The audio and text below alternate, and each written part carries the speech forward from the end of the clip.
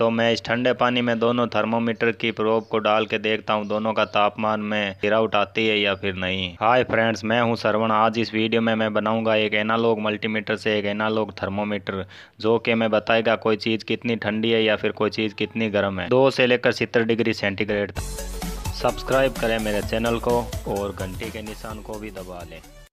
इस प्रोजेक्ट में मैं वोल्टेज डिवाइडर सर्किट का उपयोग कर रहा हूँ, जो कि दो रजिस्टरों से बनाया जाता है R1 और R2 R1 की जगह मैं एक थर्मिस्टर यूज़ कर रहा हूँ और R2 की जगह वन के का रजिस्टर यूज़ में ले रहा हूँ। इस प्रकार दोनों में से किसी भी रजिस्टर की वैल्यू को वेरी करके हम अपना मनसा आउटपुट वोल्टेज ले सकते हैं।